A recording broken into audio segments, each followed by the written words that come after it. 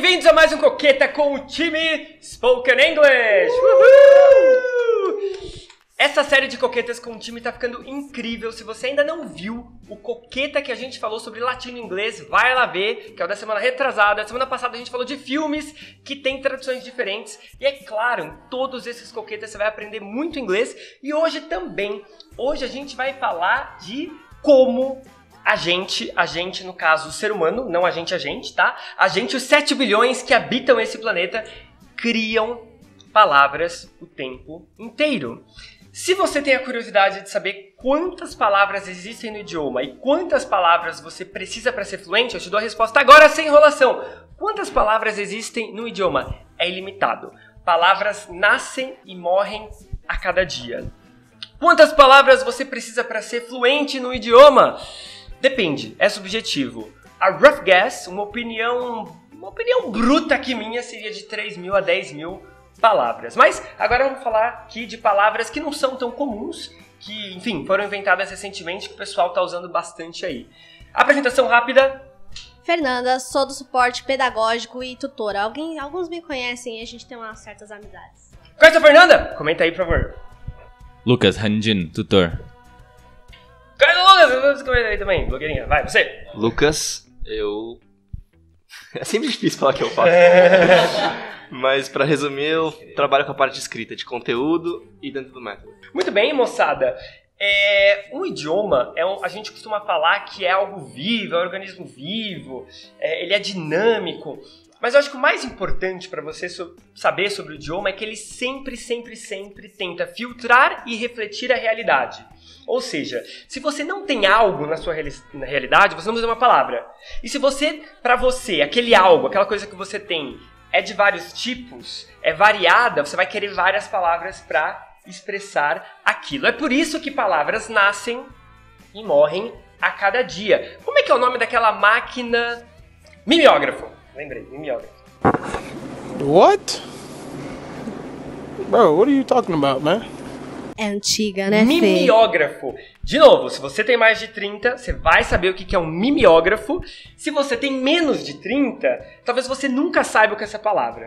Como que você estava descrevendo mesmo? Aquela máquina. Aquela máquina que tinha cheirinho álcool que a gente se drogava quando tinha 3 anos de idade. Wait a minute. Ah, Você. Sim, você ia na máquina e ficava assim. Quando não pedia pra professora deixar você fazer pra ficar ali, né? Bem na. Meteu louquinho. É, no era o source. troféu do pré, da pré-escola. Poder Hoje- passar. Hoje, hoje a gente faz o dia todo passando álcool gel na mão e cheira. Já enjoei. Hoje é. é. Enjoou já. Então, aí tá um exemplo de uma palavra que morreu, ou que tá morrendo. Talvez os dicionários mais atuais já vão excluindo ela, porque não dá pra ter um dicionário desse tamanho. O dicionário ele quer refletir a realidade. Então, quanto menor for o dicionário, então eles vão excluindo, né? Digamos assim. supimpa? Supinhade. Horrorosa essa palavra. Horrorosa. Eu gosto, podia voltar. Voltar o quê? Ah, usar supimpa? É, Nossa. ora bolas. Alunos do curso fechado, chamem a sua tutora de supimpa. Eles vão. Supimpa é chique. Mas sabe uma palavra que eu me assustei por não conhecerem? E que pra mim é muito comum? É orelhão. Tipo, eu falei, ah, é, isso tinha um orelhão aqui. Aí a pessoa com quem eu tava conversando, ela falou, o que que é orelhão? Porque não tem mais orelhão, né? E ela é dessa geração que nasceu depois dos anos 2000, né? Já usei muito orelhão pra fugir da chuva. Nossa. É. É verdade. Em inglês é um phone booth, ou seja, uma cabine de telefone. E esse do, esse do orelhão é um exemplo que reflete os dois idiomas. Como essa realidade do orelhão não existe nem no português nem no inglês, cada vez mais a palavra vai fading away. O que é to fade away? Ela ir Menos perdendo usada. força, Se ficando cada apagando. vez, cada vez mais ficando esquecida. Agora, você Tem tem, palavras inglês? que tem no português e não Tem tem no inglês, Por exemplo, inglês. esses Ah, dias tá. eu tava correndo num parque perto da minha casa, que lá é cerrado. Cerrado, Uhum. cerrado, cerrado. Eu fiquei curioso, como é que fala cerrado em inglês? Será que eu posso chutar um cerrado? Um cerrado? Eu Será que eu posso chutar aqui uma pronúncia? Sabe como é que fala cerrado em inglês? Vegetation of the Brazilian interior. Ou Nossa. seja, a vegetação do interior brasileiro. Então, é um exemplo de palavra que tem no português, mas não tem no inglês. E o oposto também. Tem palavras que tem no inglês, mas que não traduzem para o português. Você tem que entender, né, no caso. A gente tem o mouse, né? Uma palavra que a gente acabou é, adotando, né, no português, mas a gente usa como mouse. A gente não vai falar rato, né? Estou usando o rato. Os portugueses falam. Português, são portugueses, nós somos É brasileiros. verdade, é verdade. Você fala É, rato, fala. mas. é. E não Fala. fala rato, fala rato. Esse R é difícil de fazer. Rato. não. Você tem uma coisa contra portugueses? Olha, Não contra, mas. Como que é, Fernanda? É retribuição que você havia dito, né? A gente tem direito de retribuir, porque eles praticam ali, né? Muito preconceito linguístico contra o nosso idioma. E nosso idioma é riquíssimo, então. Acho que eu posso falar, né? e aí, mais algum exemplo prático? Não tenho, porque não era esse Ah. o tópico. Mas a gente pode falar saudade? Saudade. Uma palavra que tem aqui. Excelente. Como é que você fala isso em inglês? I miss you. I Fala uma miss frase you. inteira, né? É, Não bate, não que- toca meu coração. É, não toca, né? Em Não é um português, substantivo, não é em uma coisa. é, a gente fala, vou matar a saudade, né? E pior que você quer Tipo, matar ela, esse que é o pior Pra de acabar tudo. com ela. Ainda você quer matar ela, Uhum. né? Que, que idioma malvado português, gente. Matar só poderia falar algo mais fofinho. Vou me encontrar, vou, Uhum. sei lá, vou acariciar a saudade, vou fazer cafuné da. Você Matar a saudade? É? Que horror! Que idioma de. É, de. Troglodita. Homicídios é esse português? Que horror! É porque a gente sabe que se matar não volta mais, entendeu? Desculpa os espíritas que falam que tem negócio que vai e volta aí, mas o corpo vai embora. Tem uma palavra que eu lembrei esses dias, porque tava acontecendo. E aí eu também pensei, como é que fala em inglês? E eu não achei nada. Que é panelaço. Hum. Você tem uma panela e você bate com ela na janela da sua casa, dos prédios. E essa ação específica virou panelaço. É. Tem nos outros países latino-americanos, né? Mas acho que é uma cultura mais aqui americana, da América do Sul, né? De novo, é um idioma recortando a realidade. Você tem um país que as pessoas fazem protestos com panela, precisa dar um nome pra isso. Não dá pra ficar falando fazer um protesto com panela. O idioma, ela- ele tem essa necessidade. Vai lá, alguém cria a palavra, todo mundo começa a usar, entrou a palavra. É assim que começa uma palavra a surgir. Agora, se tem um país que não faz é, panela, quer dizer, não faz protesto através das panelas, não faz panela através do protesto, é, não vai precisar de uma palavra, vai precisar de, um- de uma palavra pra isso, né? Aí você imagina um gringo que aprendeu português, ele sabe panela. Aí ele ouve alguém, ô, vamos lá no panelaço. Opa, bora bater um rango. É, Agora. vai Aí chega lá um monte de gente brava, nervosa, mas cadê a comida? Não tem. Exatamente. É igual churrasco, né? Churras, vou no churrasco, mas não quer dizer que vai ter carne, né? No, no português do Brasil. Não. É o rolê, né? É, Vou no é, tem isso churrasco. também, tem isso também. E aí não é igual barbecue, né? É, isso me lembrou também, né, falando de inglês, tradução, enfim. é, não só as palavras que existem numa cultura e talvez não existam em outra, mas a, a semântica, o sentido que a gente tem ao, ao ouvir uma palavra. Por exemplo, tem uma música que fala algo muito romântico que seria beijar a pessoa debaixo do poste de luz. Porém, em inglês. Na Inglaterra talvez seja algo romântico, beijar alguém embaixo do poste de luz, aqueles postes, né, mais Antigos. antigos, enfeitados, mas a gente pega essa palavra que também existe no, no- no português, né? E se a gente colocar nesse mesmo contexto, falar, pera, eu vou beijar alguém debaixo do poste de luz, não é nada Muito romântico. brega, né? É, então assim, as palavras elas podem até existir, mas será que é, aquele feeling, né, o sentimento, a sensação que eu, que eu tenho é igual também de um lugar pro outro? Isso muda bastante também. Exemplo! Você sempre sai de férias. Vacation, vacation, vacation. Você sempre sai de férias. Você, você mora num país rico que você sempre sai de férias. Aí naquele ano específico você tá sem dinheiro. E a, a pessoa pergunta: What are you gonna do in your vacation? O que, que você vai fazer nas férias? Você vai lá e vai usar uma palavra do inglês, que não tem no português. Sabe? Boa. Tô de boa era do português, né? É, tô de boa. Boa, I'm of a good. É, tô I'm of a good.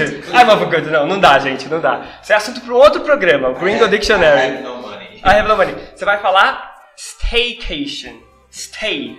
Ficar e o cation, final da palavra vacation. Staycation significa estou sem grana e as minhas férias serão aqui mesmo onde eu tô. Staycation. E é engraçado isso, porque isso é uma palavra que é, houve a necessidade de ser criada por uma pessoa que viaja sempre e não pôde viajar no ano e quis fazer essa piadinha. Pensa que isso num país muito pobre, que as pessoas não têm o hábito de viajar periodicamente, não faria sentido. Porque pra eles as férias já é normal, é ficar em casa mesmo, não é ficar viajando para outros países. Você Você vê como a realidade, ela shape the language, né? Ela modula ali o idioma. É, isso me lembrou é, workaholic. Workaholic. Eu achei que você ia falar que a pessoa ia dar desculpa por ser workaholic. Pode ser né? também, pode ser também. Que é aquela pessoa que trabalha demais a ponto de não tirar férias porque ela trabalha muito ela gosta. Tem algo no português pra isso? A gente usa alguma palavra A gente quem? usa próprio workaholic, né? Workaholic, é, a gente já Workaholic. acabou adotando, né? Ah. Exatamente. Tivemos aqui um estrangeirismo, um empréstimo. O que, Fernando? Um empréstimo o que do inglês? Um empréstimo. Esqueceu. Lexical. O empréstimo lexical do inglês. Pegamos o léxico do inglês e botamos no português e começamos a usar. Outro exemplo também que eles falam bastante, é até um vício de linguagem, é o YOLO. You only live once. No, no latim, por incrível que pareça, tem uma expressão equivalente, que é o carpe diem, tá? Se você quiser fazer uma tatuagem, não faça carpe diem, por favor, que não vai ser nada original. Apelo. Vai fazer uma tatuagem, não tatue carpe diem, tá? Tá, então se a gente fizesse um Carpe Diem escrito com letra de mão, não fica bom? Isso aqui fica bom? Mas, enfim, tem no, no latim, que significa aproveite o dia, aproveite o momento, e no inglês eles falam também YOLO. Tipo assim, ah, vamos sair, vamos fazer uma loucura, vamos fazer não sei o que, a pessoa... YOLO. Tipo, eu vou, YOLO. vou. Só, só, só vive uma vez mesmo, YOLO. Tipo apertar o F. Apertar o F no português, exatamente. F. Tocar o... Ah. E aí, mais algum exemplo prático? deletar. Deletar é uma palavra que veio do inglês, se eu não me engano, né? Dele- Sim, sim, sim. E... Talvez até do latim, não Talvez. tenho certeza, mas... Chegou no português através do inglês. Exato. Agora, da onde que veio do inglês, a gente... Olha o rolê, latim, inglês, É, inglês, po- português. Podia ter vindo direto, né? Podia, ter vindo né? direto. Delete e aí virou deletar, né? Então, Agora eu peguei uma, uma matéria aqui da super interessante. É um pouco fora do nosso contexto, mas lembrou um pouco o que o Lucas falou. De palavras que a gente pega do inglês e usa no nosso dia a dia, né?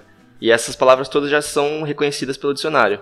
Por exemplo, avatar, baixar, algo, Baixar, blog, blog, bug. bug. E por aí Aqui vai, a gente tem dá várias. um bug, né? Dá uma brasileirada. Não, e ainda faz. faz já é Emoji. né? Bugou. Bugou. Bugou. É. emoji. A gente adapta a gramática, a morfologia do português. Olha essa aqui, trollar. Trollar. Essa é a melhor. específica. Melhor. Bem millennial, né? essa professora é bem trolleira, ela. Ela gosta de trollar. Você trola em jogos, Fernando? OMG. Só na vida real. Isso aqui é totalmente é, Nossa, americano, totalmente, né? totalmente. Nunca uma ouvi alguém falando isso em palavra português. que não é nova, mas que o pessoal tá usando bastante é o sugar daddy. Ou que é isso, sugar meu mama. Deus? Não faço ideia do que seja, gente. Então, Não faço ideia. do que sugar seja. baby Tem, tem Sugar Baby Que também. é o, que é o É, a oposto, pessoa- né? A aham. pessoa com quem eu- E as feministas criaram Sugar Mommy. É Também já- doce, já tô é doce, é de comer, é bom? Fala aí. É, dizem que sim. Então, né? Lá Nada disso. na metade do século XIX, do século XIX, o pessoal usava isso, esse sugar, como uma gíria Pra falar sobre muito dinheiro e luxúria, ser uma pessoa muito rica e tal. E tinha um cara lá que herdou uma P grana e casou com uma menina 24 anos mais jovem que ele. E aí ela chamava ele de Sugar Daddy, que seria o pai da grana, o pai da mufunfa. E aí veio, foi chegando, chegou aqui no Brasil e ficou. Olha, no português tem uma expressão parecida, não é bem isso, a gente precisa usar o sugar daddy, sugar mama, sugar baby, mas tem parecido, que é o golpe do baú. O golpe do baú, ele é mais abrangente, quer dizer ter um filho pra se aproveitar das condições financeiras do seu parceiro. Mas eu acho que sugar daddy, sugar mama, sugar baby é mais sair com alguém pela questão da grana. E também eles usam muito quando a pessoa é mais velha e a outra é mais nova. Eu assumidamente gosto de meninos mais jovens, eu sou um sugar daddy assumido. E, enfim, e não pela grana, mas pela diferença de idade. Mas se for pela grana também eu vou ficar muito feliz. Posso ser seu sugar baby? Pode, com certeza. Olha Pode ser. pessoal! Mas você não é tão velho assim, Felipe. Vai. Não, 30 com cara de 20. Tanto que eu parei de contar. Eu falo 24, an- é, 24 anos e 72 meses. Agora eu tô contando os meses. A idade ficou no 24. Tem uma palavra também que os alunos costumavam errar bastante por serem um pouco parecidas, que é hungry e angry. Nossa, esse é o pesadelo de quem estuda inglês. É Esse isso. É o pesadelo. E aí eles criaram a palavra hangry, que é quando você tá bravo porque você tá com fome. Uau. Essa palavra existe, galera. Então, quando vocês falarem agora hangry e o professor falar, não, você tá falando errado, ou é hungry ou é angry, você fala, não, eu aprendi que se eu tiver bravo porque eu tô com fome, eu posso falar hangry, entendeu? Por outro lado, é, é triste, porque a pessoa já tem dificuldade em falar hungry, já tem dificuldade em falar angry. Você ainda bota mais uma pra ela, agora tem o hangry. Tem um termo, é, skinship, né? Que juntou a palavra skin, pele, com a- a o finalzinho da palavra ship, de relationship. E as pessoas usam muito pra falar sobre relações que as pessoas se abraçam, andam de mão dadas. Às vezes elas são só amigas, mas é, acabam gerando esse tipo de interação. É muito comum isso na Ásia. A- as mídias vendem esse tipo de conteúdo entre, sei lá, homem com homem, mulher com mulher, homem com mulher, cantor com cantora, pra dar ibope porque as pessoas gostam de ver, sei lá, é, demonstração de afeto. E a gente gosta de rotular, né? O Rotular. ser humano é um ser que gosta de entender, rotular e falar. Categorizar. É Categorizar. Categorizar. Exatamente. Não dá pra deixar tudo junto, assim, numa mesma pasta, É. perde ali dentro. Fica mais legal, né? São seres humanos, afinal, né? Somos? Teve aluno que já disse que eu não sou. É mesmo? Oi? Ó, uma palavra que eu gosto bastante, também que eu uso, é a palavra queer. Porque a sigla do LGBTQIA+, tá ficando tão grande, tão grande. Você começou ali a desenvolver um pouco, aceitar mais, o mundo começou a ser um pouco mais humano, a sigla foi crescendo. Tanto que no meu vernáculo é GLS. Eu falo GLS, as pessoas brigam comigo, meus amigos. Falo GLS. Que mano, não é GLS, é GLBTQI e mais ainda pra quem não seja representado. Era tão mais simples, né? GLS, acabou. É, agora eu Tá. falo queer, porque queer é tudo. É tudo que fora do padrão. Mas eu fiquei sabendo que essa, essa nomenclatura também não é muito bem aceita na comunidade. Tá vendo? Tá difícil, gente. Tá difícil ser ser humano. Eu acho que eu vou pra É, Marte. engra- é engraçado como as palavras elas têm um uso diferente de acordo com o contexto, né? Eu tô lendo um livro que é de 1800 e pouco, assim, um romance, é, Mob Dick, né, no caso. E aparece direto a palavra queer. Só que tem um sentido de uma pessoa que é, tipo, extravagante, ou, tipo, única, assim, diferente e tal. Não no sentido do LGBTQI+. E é muito, muito engraçado Nossa, isso. eu né? gostei. Já existia eu gostei. essa palavra. Já existia e mudou o sentido. Mudou o sentido. Eu falava que era queer pensando no LGBTQ+. Uhum. Agora eu falar que eu sou queer pensando no Mob Dick. Único, extravagante. Tem uma série, não sei se vocês já assistiram, não é coreana, e é Queer as Folk. E é uma série bem interessante porque vai abordar bastante disso que vocês estão falando aqui. Uhum. E é o que eu gosto. Já assistiu Queer as Folk? Comenta aí pra gente. pra gente saber. Eu tenho um exemplo agora oposto a isso, que é, é, oposto a- ao mundo queer, que é um, é um tipo de expressão que só daria pra existir no mundo hétero, que é juntar brother com hug, né? Que é abraço, ou seja, amigo e abra- irmão e abraço. Então a pessoa que é hétero, ela se sente tão mal, né, de abraçar o amigo do mesmo sexo que ela tem que inventar um nome pra isso, né? E o é sexo abraço, frágil é a mulher, Bro né? hug. É. E qual é a Aí, palavra? bro hug. Olha Bro só. Então, é. Vou te dar um bro hug porque não, é, não pode ser um abraço, né? Não Abraço pode ter aqui. afeto, entendeu? Não, Não pode, pode, ter é. carinho. É um bro hug, sabe aquela coisa? Dá. Dá. A broderagem, do broderagem Broderagem. pode. É verdade, é verdade. Essa palavra também tá. Olha, é engraçado essa palavra. Você pegou do inglês, brother, e pegou o agem do português, né? Que é um sufixo que você faz ali substantivos, virou broderagem. É, eu, eu mesmo fiz isso. Nossa! Bom, vamos fazer o Sabia. seguinte: como todo mundo aqui é meio queer, vamos fazer um programa só sobre queer no futuro. Você topa? Eu não conheço muito do mundo, de nada, Entendi, mas topa, tô topa porque eu sou seu chefe, você vai topar. Você topa? Você topa? Uhul! Teremos um programa queer pra vocês no futuro. E bora encerrar por hoje, moçada? Bora. Bora? Já? Não dá pra fazer mais? Dá um exemplo aí então pra finalizar. Não, é só pra deixar o pessoal. Ela não tem, Ah, um- tem um exemplo? Tenho. Então dá um exemplo pra Eu tava finalizar. esperando aqui um fio pra eu puxar, mas não tem. Mas quando a gente, agora que a gente. Quando a gente entrou nesse meio tecnológico e Photoshop tá crescendo cada vez mais, você consegue fazer uma boa montagem no celular. O pessoal criou o deepfake. Que é uma coisa que você bate o olho e você fala, pô, isso aqui é. tá, tá photoshopado. Tá aí mais uma palavra que a gente pegou de lá, Nossa, colocou. De uma forma bem visível. Porque deep é Exato, profundo, é, né? exato. Então tá deepfake é assim. Não, Deep isso aqui é fake. claramente. É óbvio que isso aqui é montagem. E é isso. A pessoa não tem nem o dente, mas desenhou o dente dela lá. Certo? Colocou um chicletinho ali. Obrigado, pessoal. Vejo vocês no próximo Café com Coqueta. Não esquece de compartilhar esse programa que não teve nada de bom além de assuntos aleatórios. E a minha beleza? Além de você?